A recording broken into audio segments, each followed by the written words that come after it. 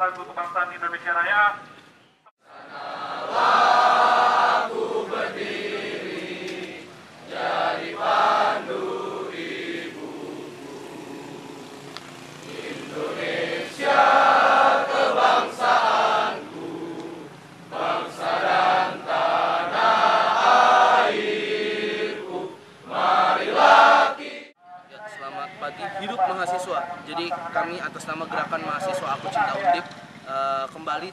Aksi mengenai masalah uang kuliah tunggal.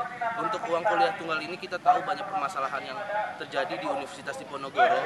Jadi kami Gerakan Mahasiswa Undip menuntut empat hal. Yang pertama, bagaimana rektorat menjamin bahwa tidak ada mahasiswa yang mundur karena mereka tidak bisa membayar uang kuliah tunggal seperti itu. Karena banyak pengaduan-pengaduan yang sudah eh, masuk ke bagian Kesma BMKM bagaimana mereka orang tua tidak mampu untuk membayar uang kuliahnya akibat dari uh, UKT ini. Yang kedua, bagaimana penggolongan untuk uh, masing-masing uh, biaya itu harus tepat sasaran. Bagaimana kita lihat banyak penggolongan ini yang tidak tepat sasaran. Bagaimana ada anak petani, dia anak tukang sayur, dimasukkan ke golongan yang lebih mahal. Ini ada ketidakadilan di sini. Dan kita menuntut rektorat untuk memperbaiki itu semua. Yang, ke- yang ketiga adalah bagaimana penggolongan UKT eh, itu dibenahkan. Karena kita tahu sistem di rektorat itu masih belum eh, mampu untuk memperbaiki itu semua. Dan kita eh, mendorong eh, bapak ibu yang ada di fakultas dekanat untuk memanusiawikan mereka yang eh, mendapatkan eh, golongan 5 karena kita tahu bagaimana golongan 5 ini golongan yang paling mahal. Yang terakhir bagaimana eh, jangan dijadikan eh, tameng eh, mahasiswa untuk masalah penggolongan UKT ini. Karena penggolongan UKT ini yang eh, melakukan adalah pihak dari dekanat seperti itu. Jadi kita tidak kita tidak menolak UKT Eh, sekali lagi kita tidak menolak UKT tapi kita mendorong bagaimana UKT ini eh, bisa adil bisa dirasakan oleh semua pihak dan undip eh, yang notabene sebagai kampus rakyat bisa menjaring mahasiswa-mahasiswa berkelas dan untuk undip ke depan menjadi lebih baik. Terima kasih. Budi, Budi, Budi!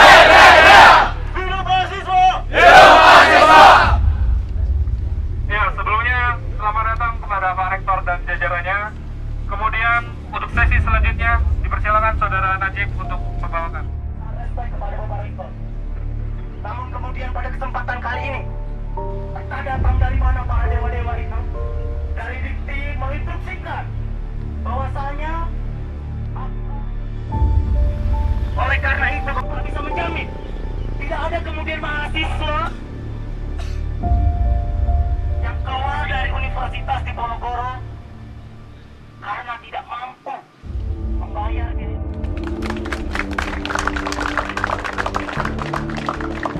Apakah ini yang namanya kampus rakyat? Apakah ini yang kita inginkan kawan-kawan? Ya!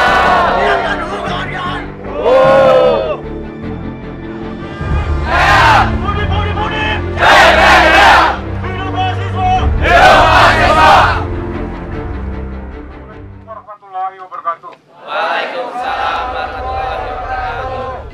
Salam sejahtera dan selamat pagi Bapak Sekretaris Senat, para pembantu rektor, para dekan, pembantu dekan, dosen, staf administrasi, saudara-saudara mahasiswa yang saya cintai, kita panjatkan puji syukur kepada Tuhan yang telah melimpahkan rahmat dan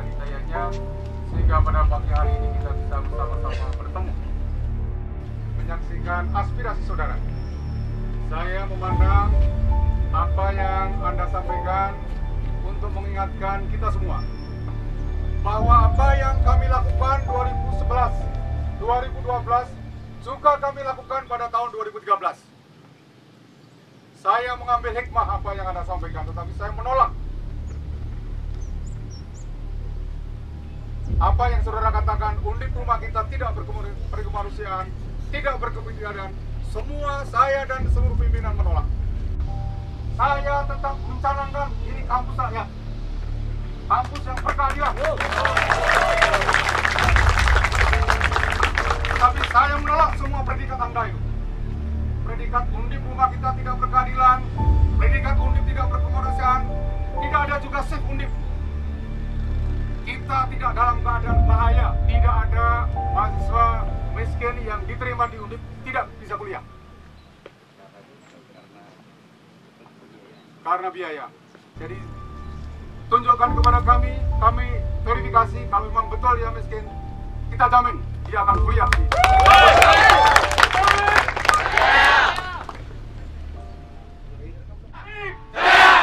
Terima kasih. Ya,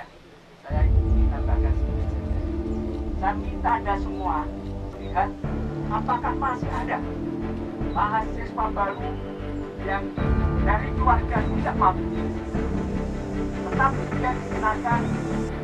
Jadi jangan sampai ada lima mahasiswa atau 10 mahasiswa yang ternyata tidak sesuai dengan posisinya, kategori yang tidak sesuai dengan kemampuannya, lalu ada ngumpulin Udip tidak berkeadilan, tidak tetapi tangkaplah dia hadapkan ke saya atau Pak Rektor. Nanti akan saya berikan sesuai dengan dan akan kita verifikasi oke setuju begitu ya pokoknya kalau ada mahasiswa yang belum sesuai nanti kita verifikasi langsung Pak setuju? setuju terima kasih Hidup mahasiswa! Hidup mahasiswa!